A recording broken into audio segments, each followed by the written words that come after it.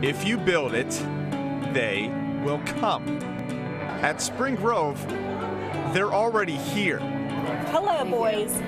Just one, or you want two? Okay, four dollars. But it wasn't always that way.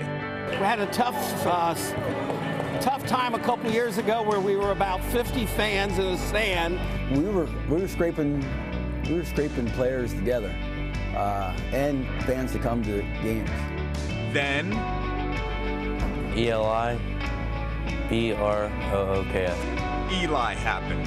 There is not a doubt in my mind that Eli is the best player Spring Grove ever had. If he wanted to, he could score 50 points a game.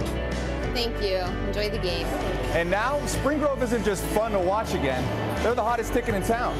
Enjoy the game. At guard, a senior, number 23, Eli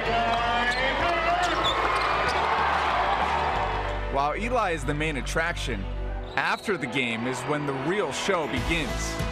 Win or lose. These guys all play for the fourth grader, most of them for the fourth grade Central Boys Uh-huh. And they worship you. I signed shoes, shirts, no faces yet. Every game, Eli and his teammates meet the fans. Every single one for as long as it takes. He got a serious face on in this one. Those fans know our players. Our players know those fans, and that's that's immeasurable. I remember being young and um, What's up? just just looking up to kids. It just gives just gives them a reason to play basketball even more. Not only has it helped the young, but older fans too. Hang in there, all right? You're my first, all right? I visited my dad's friend in the hospital that I knew when I was younger, just playing baseball, and just seeing him smile, it changed his whole day, and it made my day. He's just a great kid.